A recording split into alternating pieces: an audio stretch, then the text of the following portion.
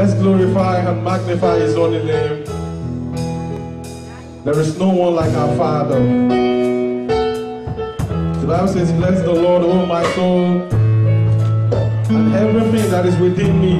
Bless His holy name. Come on, let's just bless the Lord with every breath that we have. Let's just bless Him. Father, we bless you, oh God, this morning. We appreciate you, Most High God. We bless you for who you are. We thank you for what you've done. We thank you for what you're doing, for what you will still do, oh God, in our lives. In this church, oh God, we bless your name, oh God, because you are our God. You saw us through the course of year 2009. Here we are, the first Sunday in the year of our Lord 2010. We're very grateful, oh God, every family, every husband, every wife, every child, oh God, you kept each and every one of us. Lord, we thank you as a church, oh God. We thank you, O God. We bring our sacrifice of praise before you this morning because only you are worthy, O God, to be praised and glorified and magnified. Thank you, Most High God. Thank you, Most High God, for all that you've done for us, O God. We're grateful, O God.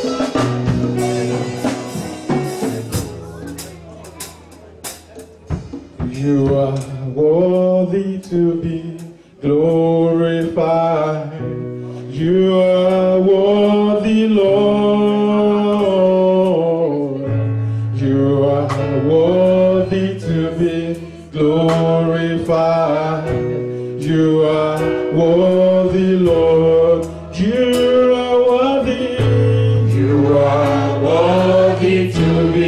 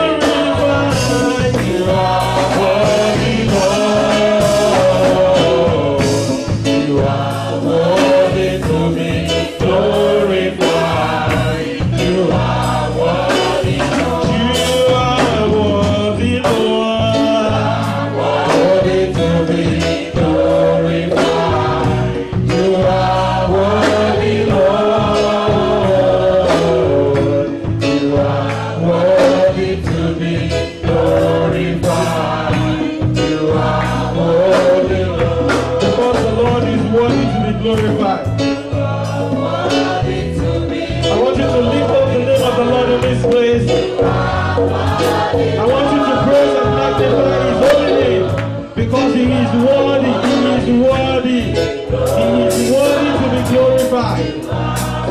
There is no one that can compare to our God. There is no one that can match His strength. There is no one that can match His power. He is the Lord of Lords. He is the King of Kings.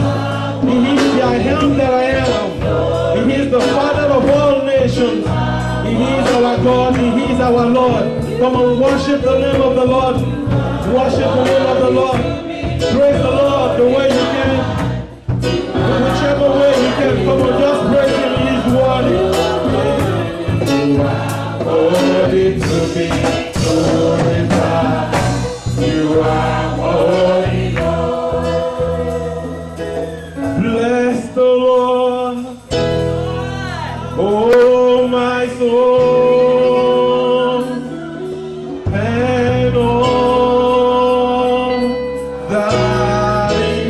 We